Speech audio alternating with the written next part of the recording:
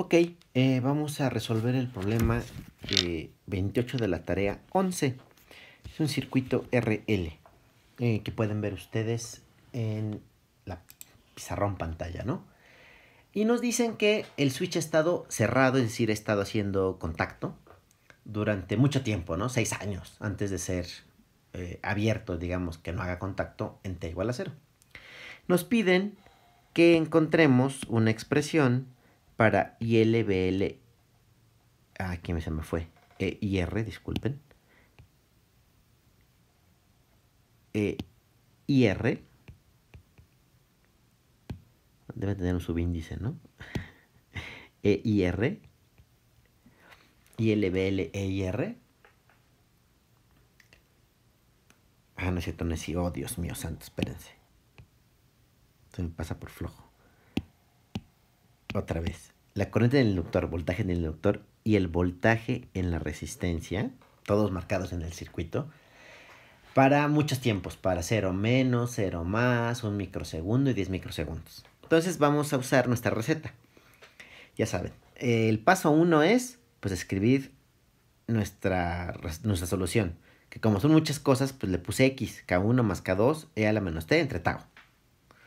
En el paso 2 vamos a trabajar en el tiempo 0 menos. Y vamos a ver qué pasa. Bueno, el voltaje L en 0 menos, después de, acuérdense que en 0 menos el switch está, esto lo voy a borrar, así que atención, está así. Entonces, ya ha estado así mucho tiempo. Entonces, el inductor es un corto y los cortos tienen un voltaje cero, ¿verdad? Entonces, voy a regresar a cómo estaba el circuito. El voltaje es cero. ¿Sale? En el inductor. Ahora, eh,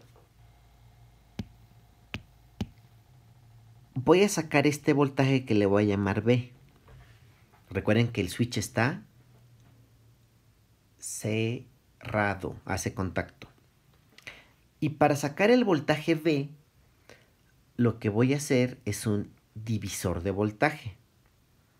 ¿Ok? Entonces el voltaje V se saca con un divisor. Con quiero el voltaje que está en ese nodo, que es el nodo en donde está un K en paralelo con dos K. Me refiero a estas dos, ¿ok? Las que están en paralelo ahí lo quiero, entre 1 más 1 en paralelo con 2. ¿Sale? Y eso va a ser una fracción de 1.2 volts. Bueno, ese voltaje cuando lo calculan les da 0.48 volts. Ok. Bueno. Dicho eso, yo puedo calcular bueno, esto es el voltaje BR. Todo, estamos hablando de cero menos, ¿eh? Porque les recuerdo que esto es un corto. O que BL es igual a cero, cosa que ya hemos visto antes. Esto que está aquí. ¿Sale? Entonces eso es BR. Y por último, la corriente en el inductor, pues es la corriente en la resistencia, ¿no? O sea, sería BR en 0 menos entre 2K. O sea, y L en 0 menos es 0.48 entre 2K, que son 240 microamperes. ¿Sale? Bueno, paso 2, listo. Paso 3. Ahora el switch está abierto como en el dibujo. Y ahora sí voy a, ya no voy a borrar, digamos. Esto ya, como no está conectado, pues está flotando, ¿no? Y pues entonces lo podemos ignorar. El circuito se ve como está ahí. Y puedo, sí lo voy a, lo voy a redibujar, El inductor recuerden que se convierte en una fuente de corriente con la dirección que estaba IL. Recuerden que sigue estando aquí más menos. BL. Esto es IL de 0 más, porque estamos en 0 más. Y aquí está la resistencia otra. Esta es de 1K y esta es de 2K y esto es BR. Uy, qué feo me quedó el menos, espérenme. BR. Bueno. Aquí podemos usar los principios físicos y sabemos que en el inductor las corrientes no cambian, entonces esa corriente es de 240 microamperes. ¿Ok? De hecho aquí podemos vernos bien fresas y ponerle, bueno, ponerle, uy, no, espérate. Esto es Pero aquí son 240 microamperes. Así, wow. Ok. Em, ¿Qué más? ¿Cuál es, la, ¿Cuál es el voltaje en la resistencia en cero más? Pues es ley de Ohm, ¿no? Sería 240 microamperes por 2k ohms, ¿no? Y eso pues es muy fácil, ¿no? Son 0.48 volts, ¿no? Y el... ¿Y qué otra cosa me falta? Y el voltaje en el inductor, pues también es ley de Ohm, ¿no? Es el voltaje entre este y este. Se hace el voltaje de las dos resistencias. En, por 1 más 2. ¿Están de acuerdo? Kilo ohms.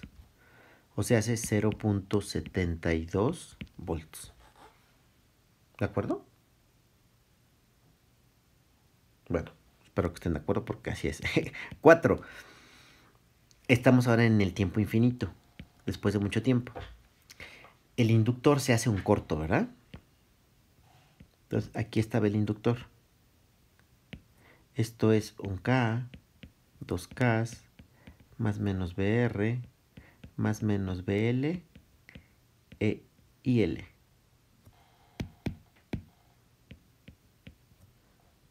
quiero que vean que el circuito ya no tiene energía.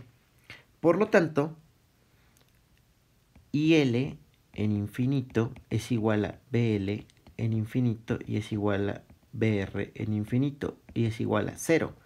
No hay nada, todo está muerto. Así. Bien, 5. Vamos a sacar la resistencia de Thevenin y con eso la tau. Aquí estaba el inductor. Aquí están mis resistencias. Un K, 2K y aquí está RTH. RTH es igual a 3K. Por lo tanto, tau, ay qué fea, me, me había quedado bonita al principio, bueno, no tan fea. Tau es L, 30 milihenries, entre, entre R, ¿no? L entre R.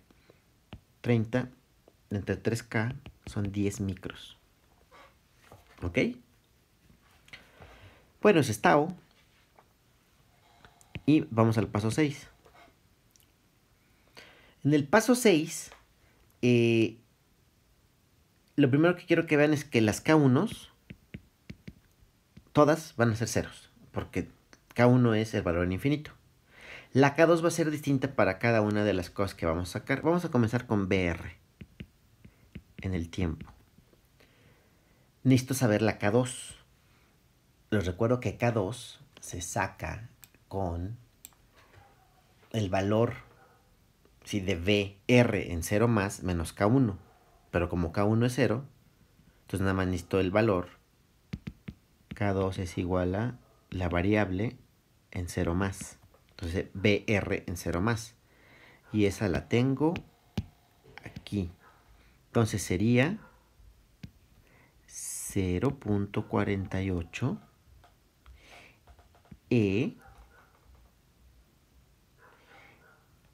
a la menos T entre 10 micros. Pero dividir entre 10 micros es igual a multiplicar por 100K. De hecho, podríamos poner menos 100K Sí, 100 mil me refiero. ¿Sale? Y esto, ay, Dios mío, uh, no sé qué pasó.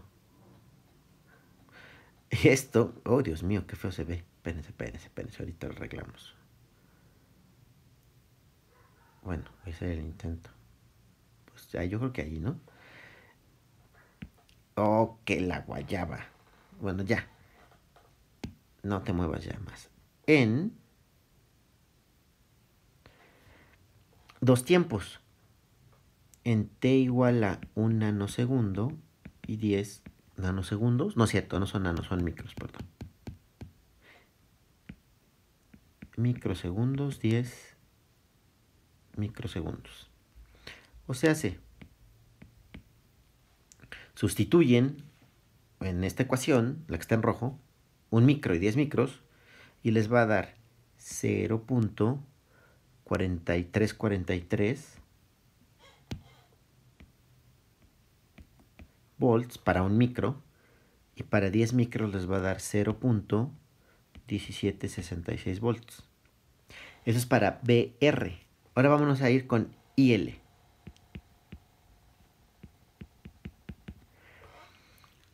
Vamos a buscar IL en 0 más. IL en 0 en 0 más es 240 micros. Entonces ponemos 240 E a la menos 100 KT. Voy a poner si quieren el 100K entre paréntesis. Igual en estos tiempos y genera dos valores. Estos son volts, ¿no? Sí, están volts. Les va a generar, cuando sustituyen, 217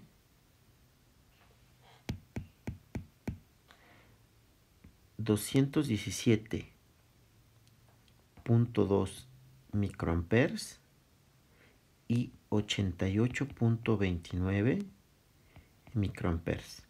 Y finalmente, BL de T.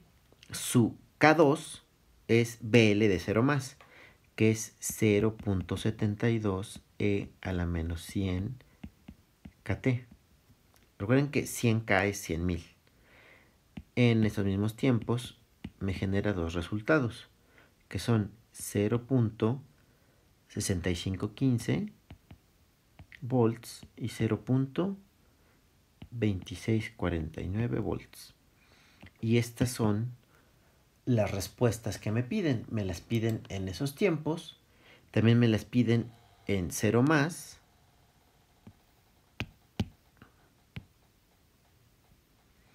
Y me las piden en 0 menos.